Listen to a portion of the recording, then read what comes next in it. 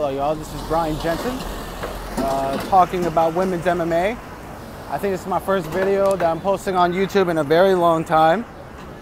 I'm here to talk about Amanda Nunes versus Valentina Shevchenko.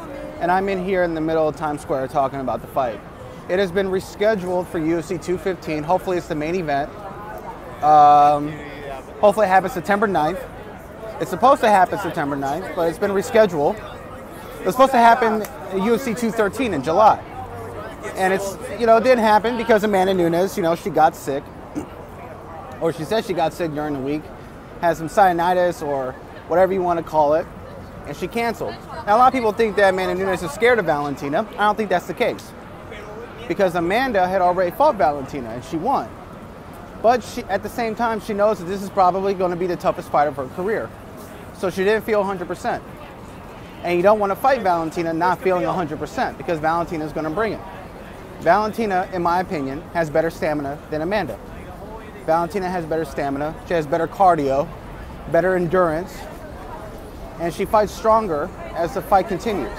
After the first two rounds, which is 10 minutes, she gets stronger, she gets better.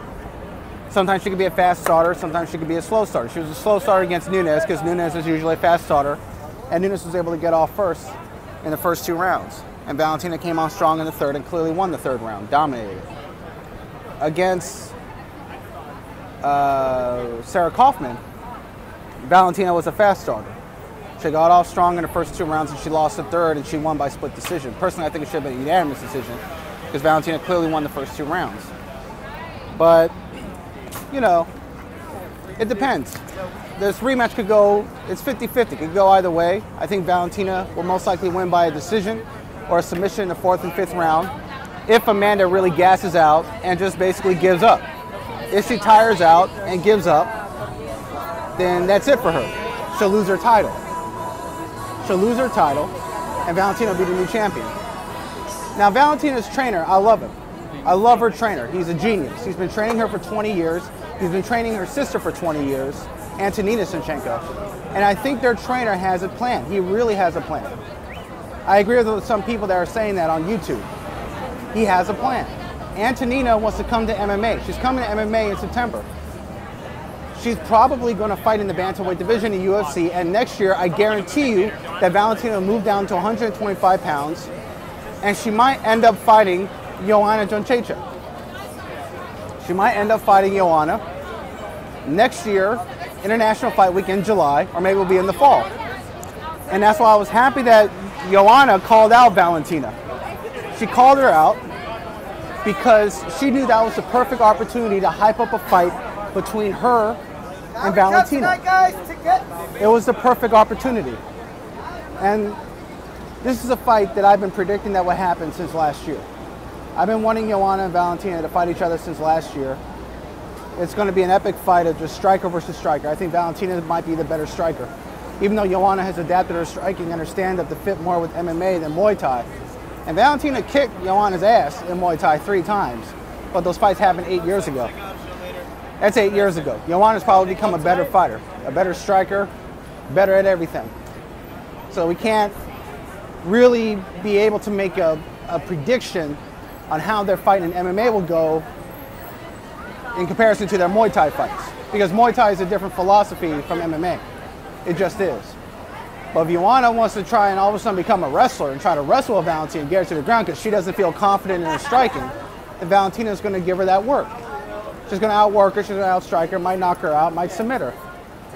And then Valentina will be a, the first female ch uh, champion to become a world champion in two different weight classes in the UFC at 125 and 135. See, Valentina's trainer, I think he has a plan. He's planning for this. I mean, in the next three years, Antonina Shevchenko and Valentina Shevchenko might be champions in two different weight classes. It'd be like the Klitschko brothers in boxing. The Klitschko brothers had championships.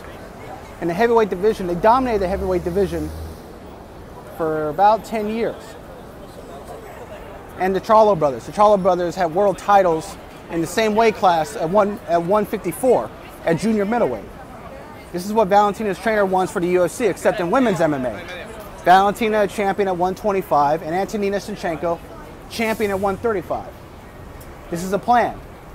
but we'll have to see. We'll have to see how Valentina does against Joanna. We'll have to see how Joanna deals with 125 pounds. Because Joanna is dominating 115. She's really the greatest strawweight to ever live of any organization. Invicta has 115. I'm pretty sure Joanna, if Bellator had 115 pounds at Bellator in women's MMA, Joanna would dominate that division too. She's really the greatest at that division, but we'll have to see how she deals with 125. And I honestly don't see anybody really beating Joanna at 125 except for Valentina.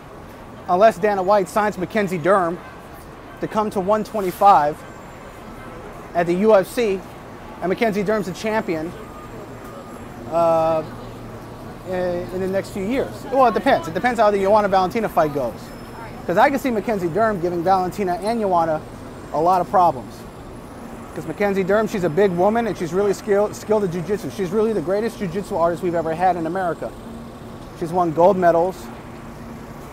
She's won championships.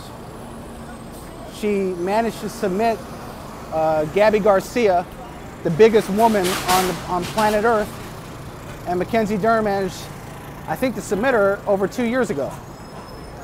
She definitely won. Mackenzie definitely won that rematch. She lost the first jiu-jitsu match with Gabby Garcia over three years ago.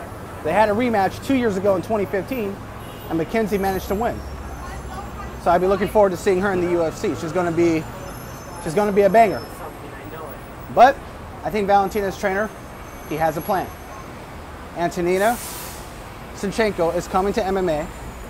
She'll become a world champion at bantamweight because a lot of the women in the bantamweight division are getting older now. They're starting to age. Antonina, she's not a spring chicken. I think she's in her early 30s, but she's really in the prime of her career as a fighter. And MMA she's going to bring a whole, whole striking arsenal to women's MMA at 135. And she get past Nunes, she's beating everybody because it's right, it's right for the picking in bantamweight.